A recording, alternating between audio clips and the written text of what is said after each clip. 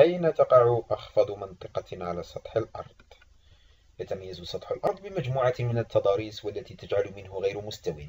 فهناك الجبال التي تخطت ارتفاعاتها مئات الأمتار. فشكلت قمما أعلاها قمة إيفرست التي تعد أعلى نقطة في الأرض. وبالمقابل توجد الوديان والتي عرفت بانخفاضها عن مستوى سطح البحر. فشكلت مناطق مميزة. فما هي أخفض نقطة على سطح الأرض؟ بعد الكثير من الأبحاث والدراسات وصل العلماء إلى أن أخفض نقطة على سطح الأرض هي البحر الميت والذي يقع في منطقة وادي الأردن الفاصلة بين كل من المملكة الأردنية الهاشمية وفلسطين حيث يبلغ عمق هذه النقطة حوالي 417 مترا تحت مستوى سطح البحر وهذا ما أكسب هذه المنطقة خصائص جغرافية وطبيعية مميزة عن غيرها.